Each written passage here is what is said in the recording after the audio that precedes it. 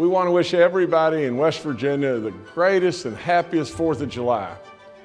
Remember this, as we celebrate our nation's freedom, freedom, a word that is so sacred to all of us, but it didn't come easy. Tens of thousands lost their lives. For us, for each and every one of us, we owe all to them and all to our active military that are serving today in all areas of the globe.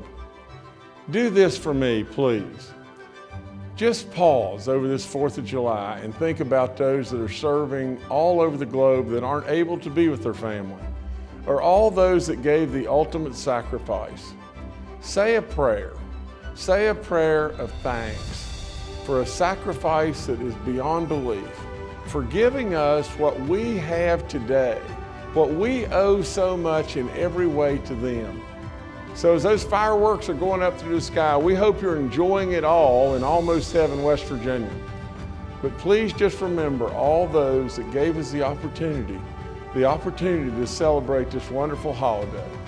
I hope you'll have a fabulous time with your families and your friends. God bless each and every one of you.